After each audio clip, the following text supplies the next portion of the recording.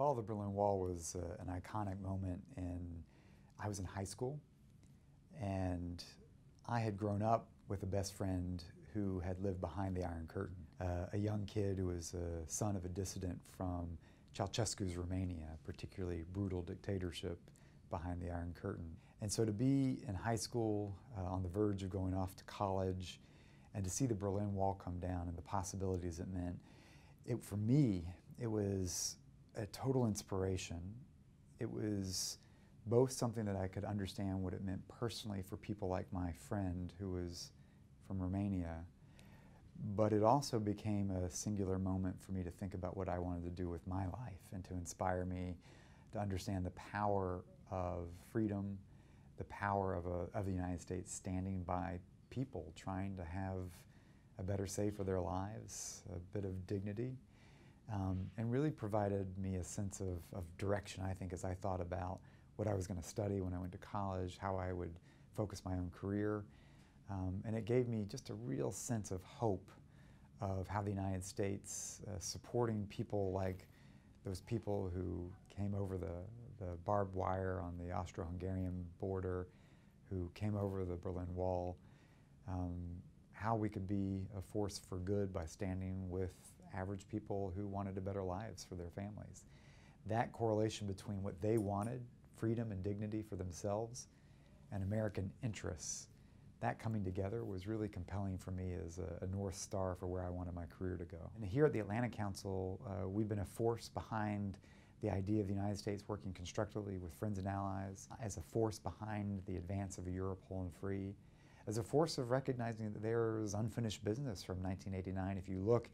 at still some of the uncertainty and ambivalence in the Western Balkans, or what's happening in Ukraine and Georgia, not to mention Russia. And I think if we remember the power that we saw uh, on the streets of Berlin in 1989 across Central and Eastern Europe, and understand that in our own way we can shape that future through the work we do, uh, it can keep us focused on what the possibilities and opportunities are and not to be discouraged by all the challenges and problems that we see in the world today. So I think uh, you know, we've been really focused on where there is unfinished business in the Western Balkans and Europe's East. But I think importantly,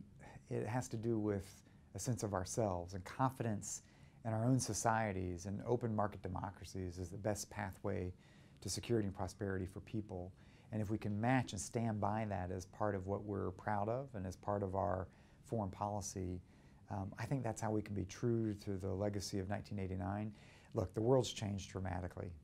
remarkably, and we have to acknowledge that. And the same policies and approaches that worked for the past 25 years are not going to be the same that we pursue for the next 25 years. But that's part of the Atlantic Council's work. How can we think of adapting and reshaping the global system in a way that's commensurate with our interests and our values?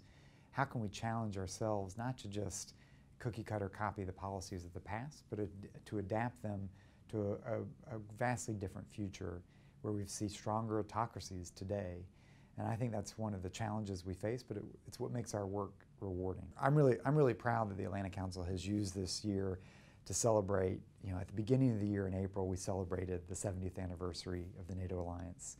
This summer, we had a signature conference and report on the U.S. Central European relationship to recognize former adversaries now as allies and what that really means uh, for Central European allies. And now in November, the commemoration of the fall of the Berlin Wall, the centrality of what this means as Germany as a force for the free world. Uh, if you look across the year, the Atlantic Council has been able to connect the dots and to bring together all of these commemorations and celebrations, but not just to be looking towards the past. More importantly, we've used this as a time to really take stock and think about now what is our agenda for the future, what are the challenges we face, and what, how do we need to put this incredible relationship, this incredible alliance to work on solving these problems of tomorrow.